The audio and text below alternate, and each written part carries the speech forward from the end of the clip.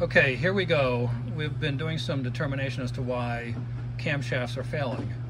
And as those of you who know camshaft technology, there should be a slight difference from one end of the camshaft lobe to the other so that you can have the uh, crown of the lifter rotate on the camshaft face. However, watch this.